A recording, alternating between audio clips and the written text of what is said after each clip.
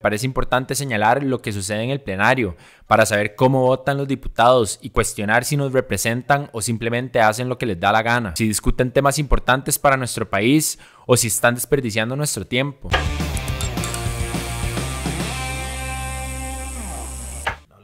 Ajá, ahí. Ok. Qué lindo todo. Todo muy lindo. Sí, no me tapa la hacha. Igual no se pierden de nada. Sí. Sí, señora. Eh, toma uno, espero.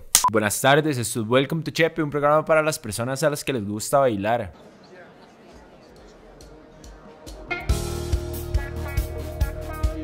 La palabra dice, fortalezcanse. Porque a todos nos encantaría que nos paguen por bailar, pero ese no es el caso de los trabajadores de la asamblea. ¿Cómo te pusiste esos jeans? Hace que mi mente maquine. No te puedo sacar ni al cine. Qué lindos ellos. Por eso, el periodista Diego Soto, asesor de María Inés Solís, diputada por el PUSC, se quedó sin brete.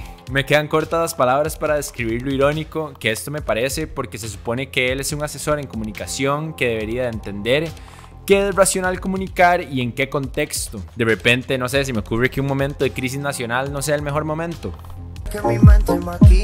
Lo peor de todo es que no me sorprende, porque después de todo en la asamblea suceden cosas todavía más desprendidas de todo raciocinio, como los siete diputados que votaron este lunes en contra de una moción para felicitar al presidente electo de Estados Unidos, Joe Biden. Los siete que votaron en contra son María Inés Solís, que ya sabemos que se quedó sin asesor de reggaetón.